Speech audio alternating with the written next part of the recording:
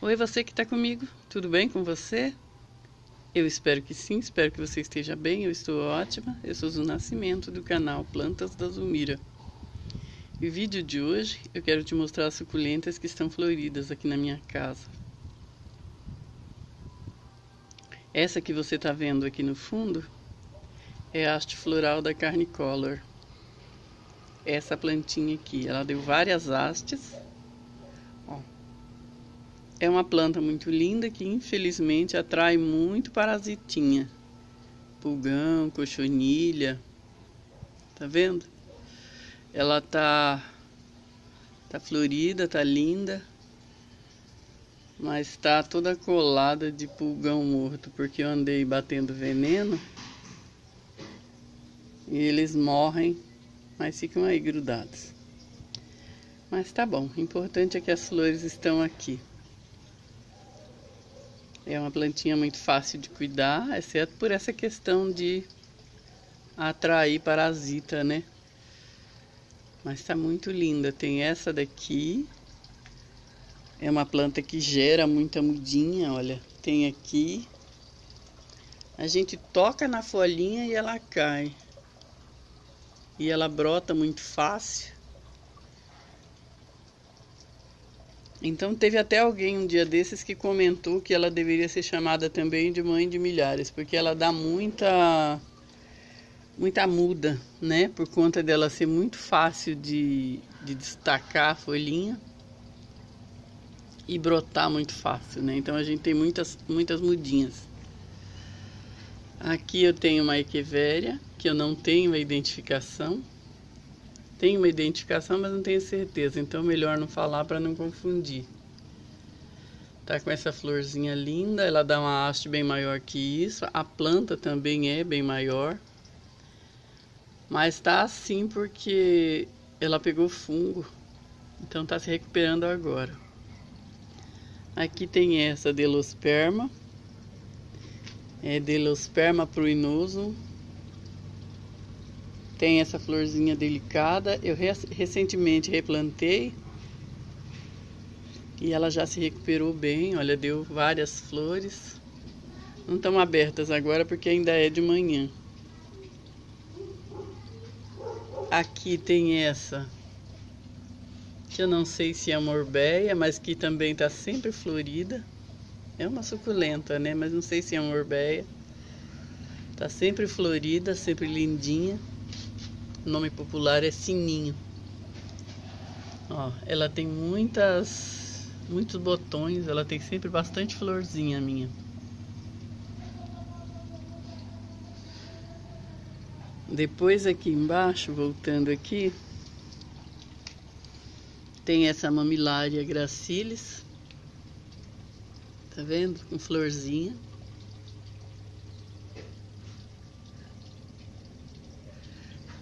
Uma gracinha também, é fácil de cuidar. Tem essa daqui, que é a última florzinha da Topsy Turvy, já tá secando. E aqui tem essa outra mamilária. Também tem florzinha. E que tá fechada agora, né? Mas que abre durante o dia. Então eu vou dar uma pausa aqui e vou te levar lá do outro lado e mostrar outras plantinhas que eu tenho. Vamos lá?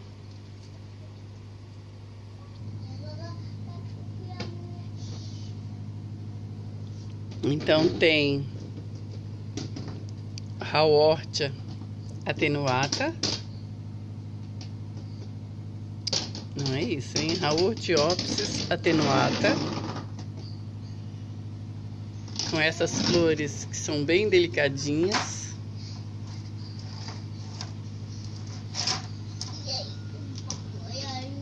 Tá vendo?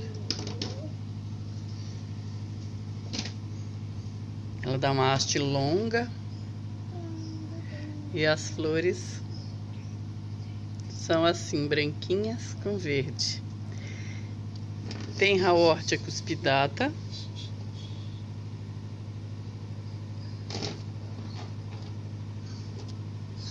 Tá linda essa, né? E ela também tem exatamente a mesma haste floral. O mesmo tipo de florzinha, tá vendo? São iguais, as plantas são diferentes, mas as flores são exatamente iguais. Tem uma outra atenuata aqui, eu acho que ela tá perdendo a haste floral, mas ela tem uma florzinha. É que eu ganhei essa daqui no Dia das Mães. Eu acho que ela sofre, né, no trajeto. Então só vai abrir uma florzinha. Mas enfim, é isso. Então tem essas raórtias. Essa daqui também dá uma flor igualzinha. É uma raórtia também. E aí tem os colares aqui de golfinho, que é o Seneste Peregrinos. Tem uma inscrita que é a Nerita, ela me pergunta sobre a coloração do senécio dela. Que tá escuro, ela acha que tá doente, que não tá bem. Então eu coloquei aqui, Nerita, para você ver os meus dois, olha. Esse é o verdinho, tá animadinho, tá alegrinho, porque ele fica na sombra, não toma sol.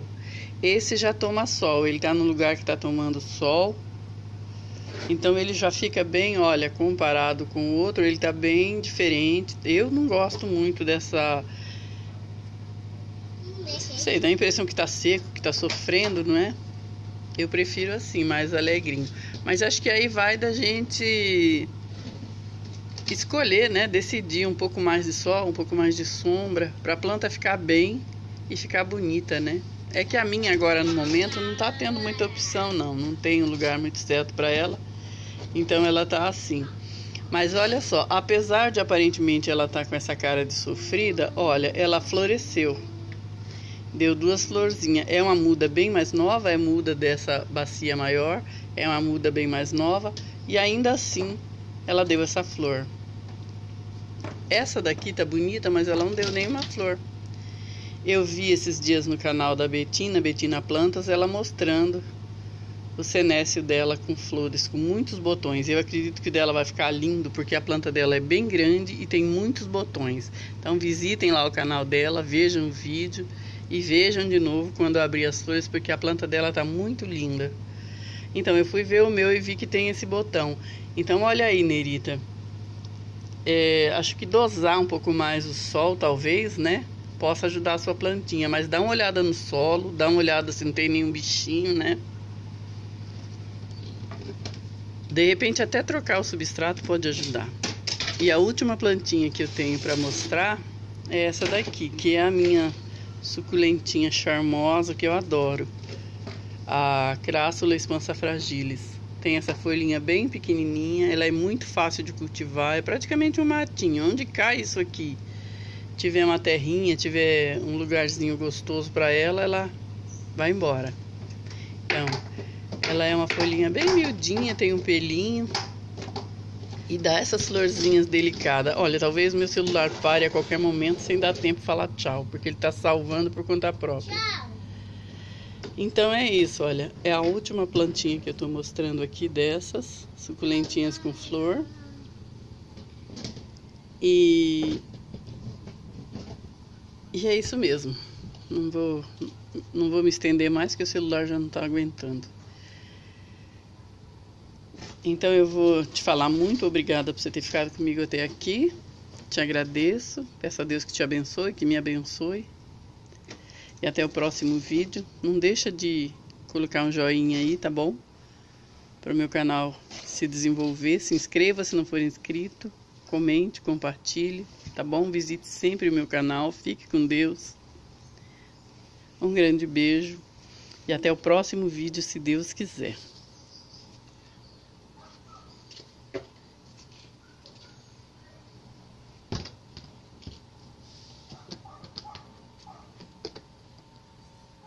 Você vai? Fica com a vovó. Fica com a vovó? Deixa eu vou mostrar sua carinha aqui só um pouquinho. Carinha de malandrinho. Fala tchau. Tchau. Joga beijo.